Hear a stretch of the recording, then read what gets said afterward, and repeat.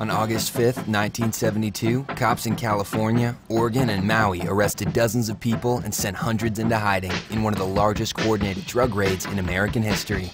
By then, the Brotherhood of Eternal Love, better known among cops as the Hippie Mafia, had become America's biggest LSD hash smuggling network, with a direct pipeline to Kandahar, Afghanistan.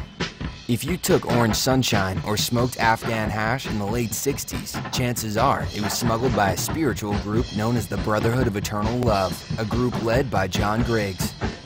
They weren't just a smuggling organization, they were a religious movement. LSD transformed farmer John Griggs into an immensely spiritual man, the force behind the creation of the Brotherhood of Eternal Love. Griggs was experimenting with heroin when he robbed a Hollywood producer of his LSD supply. After stealing the acid with his gang, they dropped out. He had a religious epiphany. He threw his revolver into a river, returned the unused LSD, and apologized to the Hollywood producer. From that day forth, Griggs preached the gospel of nonviolence and universal love, encouraging the use of psychedelics. After discovering LSD, they took to Timothy Leary's mantra of turn on, tune in, and drop out, and resolved to make that vision a reality by becoming the biggest group of acid dealers in the nation, literally providing the fuel for the psychedelic revolution in the process.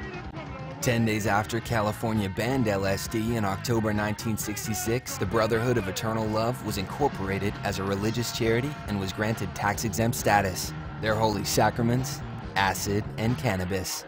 By then, they had moved 30 miles southwest of LA in Laguna Canyon and were quickly growing, and eventually opened the psychedelic head shop Mystic Arts World, which also served as the temple for the growing flock. Soon, surfboards and Afghan goods sold in the shop were being shipped to California stuffed with hash. Then it was entire VW vans stuffed with hash arriving by boat. Their network would distribute millions of hits of their very own brand of LSD, Orange Sunshine, to people everywhere.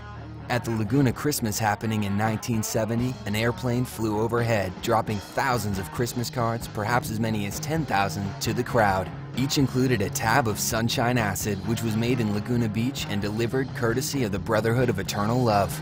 Much of what you see today at Rainbow Family gatherings looks a lot like what was going on around Laguna Canyon.